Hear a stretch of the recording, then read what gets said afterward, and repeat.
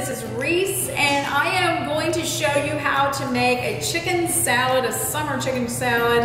Um, and I am here at the Milk House in Mineola, Texas on the farm. So welcome to my kitchen once again, and thank you for following us on, on YouTube and on our Facebook page. Um, so this is so super simple. Remember, this is a chicken that we're trying to extend its life and do several meals from this one, one beautiful chicken that we had. So this is some more of the chicken that I've just shredded up. I am going to use, because it's August in East Texas, and what do we have? We have these wonderful fall pears that are coming off. They're crispy and they're juicy and super tasty. So I've chopped up a few pears, pears in chicken salad. Sometimes you might put an apple in it, but that's not what I have. It's not the season. I have pears. So we're gonna use up our pears in here. And these pears are going to offer your salad a lot of moisture because they're just they're just full of this summer beautiful moisture. So always yogurt. I use yogurt, not mayonnaise. That way you don't have to worry about anything. So beautiful Greek yogurt is going to go into my bowl. I promise you, no one will ever know that you didn't use mayonnaise. I like mustard in mine. If you prefer it without mustard, that's fine. Mustard powder works really nicely too, but I do like a good mustard. So whatever that is uh, for you, um, put a little mustard in until, I just do it until it gets to the color I like it. So in the taste, that adds a lot of vinegar to it, a, a, a tart taste which is what you're after in a good chicken salad. So this is gonna be so great for a summer lunch. If you're like me, you have these jars of pickles and there's just a little bit left in the bottom, just a few pickles and also the onions.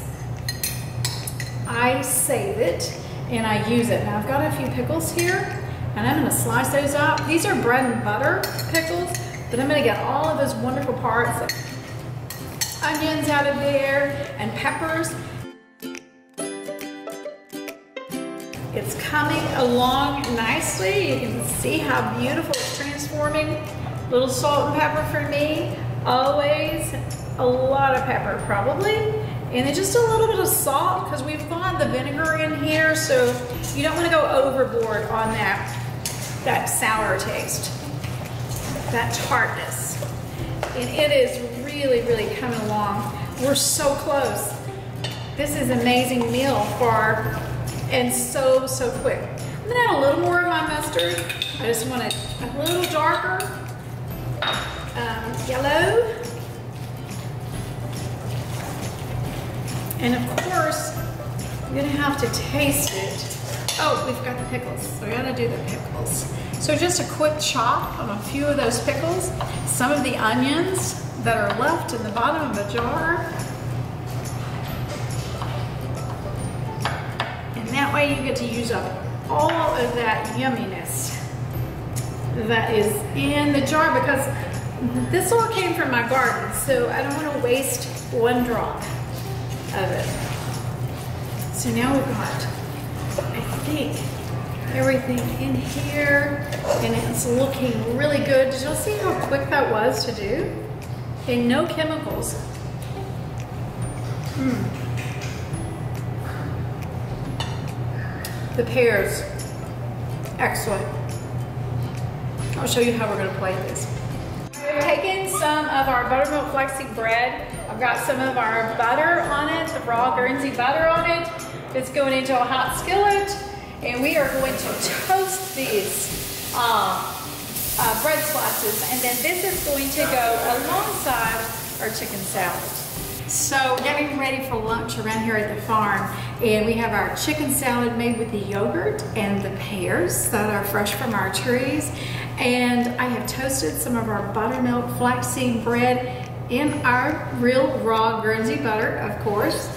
And Left from the garden, I have a few cucumbers and a few tomatoes. This is a super simple little cold salad for the for the uh, summertime, and I have just chopped it and then put rice wine vinegar on this with a little bit of salt, a little bit of pepper. And we are going to plate this up, sit down, be very grateful, pour a glass of milk, and I thank you again for watching. And as always, blessings of great abundance.